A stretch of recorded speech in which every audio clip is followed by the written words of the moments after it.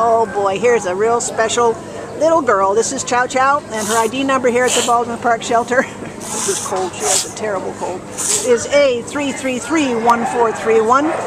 And Chow Chow is a female Shih Tzu mix. Um, she's about 12 years old, so she's a senior, and she shows uh, a lot of uh, the problems of seniorhood. She's got uh, cataracts, I think, don't you? Uh, yeah, and she's got a couple missing teeth. Um, but the, the, the, hard part of it is she came to the shelter as an owner surrender on April 17th, quite simply because they said she was too old.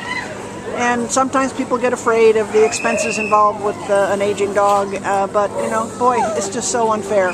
She is a doll, she's got a nice personality, she doesn't feel good right now, she's got a terrible cold, and I'm sure those teeth might make her kind of grumpy too, so she could use, certainly stand to see an outside vet. Uh, but she is housebroken, and uh, she's used to being groomed, so she was, you know, somebody's baby until they decided to give her up. she wants so, to go somewhere. Yeah, she does want anywhere but here. She weighs 11 pounds under all that hair. you know, this is just one of those situations. She's an old gal. She shouldn't have been abandoned, but she was. So if you got it in your heart to give her a couple of years of loving and just, you know, I'm sure she's going to be a nice little couch potato for you. She's just a doll.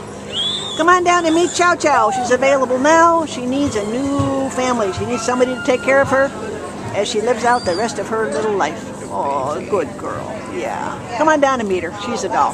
Bye, honey.